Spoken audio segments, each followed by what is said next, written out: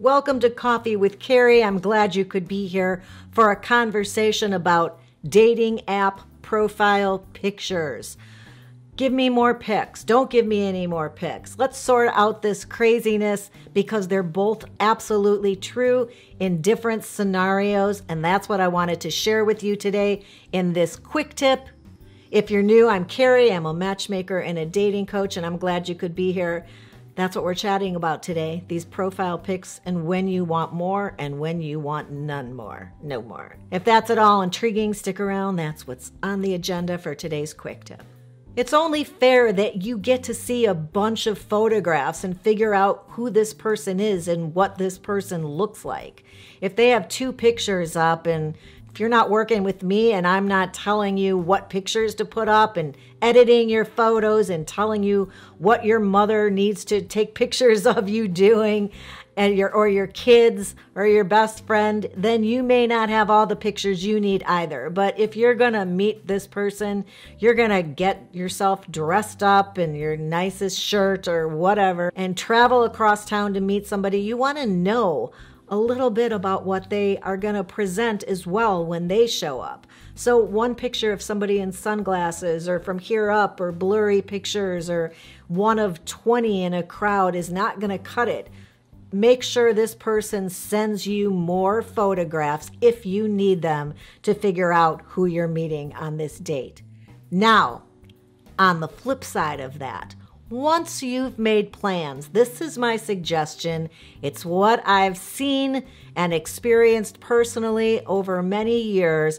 My suggestion for you is that once you've made plans, the date is on the books, you know that next Thursday you're meeting this person at, you know, Vinici's for a glass of red wine and an appetizer. Stop corresponding with them in the interim.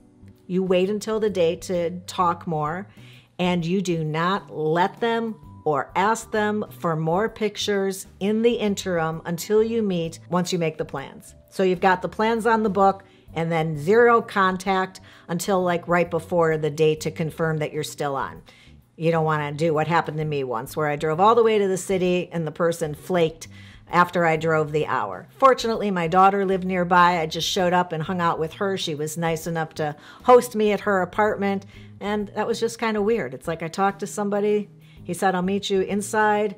An hour later, I'm there, and nobody's answering my messages that they're there. Eh, whatever. I had a lovely evening. Ghosting is rude try to avoid it if you can. Definitely don't do that to people. It's just not nice. And wait until you meet to see this person in person before accepting any more photographs. And I'll tell you why because it's only fair. I have found that once you've made the decision that you're intrigued and you want to go meet this person, things in the middle can mess it up for you you could have a great impression, but somebody gets excited to meet you or over anxious and they overshare or they say something silly trying to I don't know, move things along, or another picture shows up and it doesn't jive with like what you'd seen previously, and you start second guessing whether this is going to be somebody you're attracted to. There's a lot of reasons that come up in the middle where another photograph can mess things up. Or it could be something you just don't want to see at all. Maybe never, but at least until you, this is a person you know very well. So I'm not just talking about those pictures, I'm talking about all pictures. Get as many as you can at the start. Do not accept or send any in the interim between planning the date and meeting your person here.